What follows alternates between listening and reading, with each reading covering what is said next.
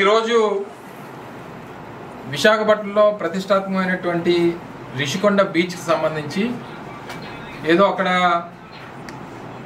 Entry fee పెడుతున్నారు వచ్చేటువంటి పర్యాటకులకి. లోపల బీచ్కి వెళ్ళేటువంటి దానికి ఇరవై రూపాయలు రుసుము కలెక్ట్ చేస్తారని చెప్పి కొన్ని ప్రముఖ పత్రికల్లో కొన్ని టీవీ ఛానల్స్లో కూడా చూడడం జరిగింది. మీరు కూడా ఇందాక మనం మాట్లాడినప్పుడు కొన్ని విషయాలు మాట్లాడుకోవడం జరిగింది. వాస్తవానికి రిషికొండ బీచ్ అనేటువంటిది ప్రపంచ ఖ్యాతి పొందినటువంటి బీచ్. ఎందుకంటే బ్లూ ఫ్లాగ్ బీచ్గా సర్టిఫికేషన్ ఉన్నటువంటి ప్రపంచంలో అనేక బీచెస్లో రిషికొండ బీచ్ ఒకటి.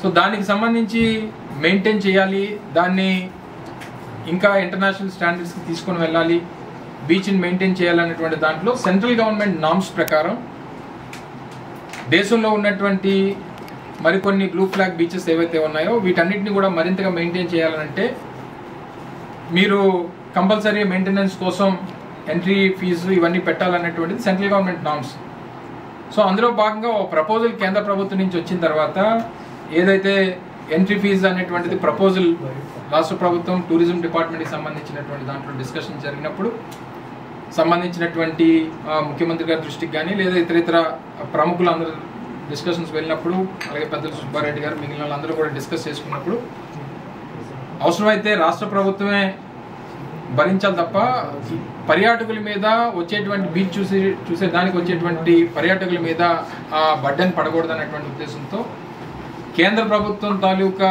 నామ్స్ డబ్బులు ఏవైతే ఇరవై రూపాయలు పర్యాటకులకు కలెక్ట్ చేయాలని చెప్పి ఏదైతే సెంట్రల్ గవర్నమెంట్ నామ్స్ పెట్టినప్పటికీ దాన్ని రాష్ట్ర ప్రభుత్వం ప్రభుత్వంగానో లేదా టూరిజం డిపార్ట్మెంట్ కార్పొరేషనో ఏపీటీడీసో దాన్ని భరించి ప్రజల మీద పర్యాటకుల మీద ఇబ్బంది కలగకుండా చూడాలన్నటువంటి ఉద్దేశంతో ప్రభుత్వం నిర్ణయం తీసుకుంది. వచ్చినటువంటి పత్రికల్లో వచ్చినటువంటి స్పెక్యులేషన్స్ కానీ లేదా టీవీలో వస్తున్నటువంటి వార్తలు కానీ దయచేసి అంటే ఆ ప్రపోజల్ అనేటువంటిది కేంద్ర ప్రభుత్వం నుంచి పెట్టినటువంటి మాట వాస్తవం.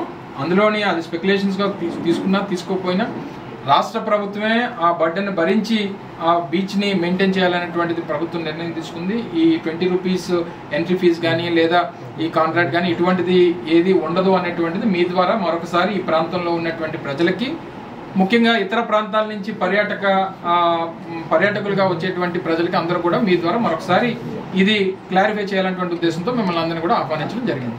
Thank you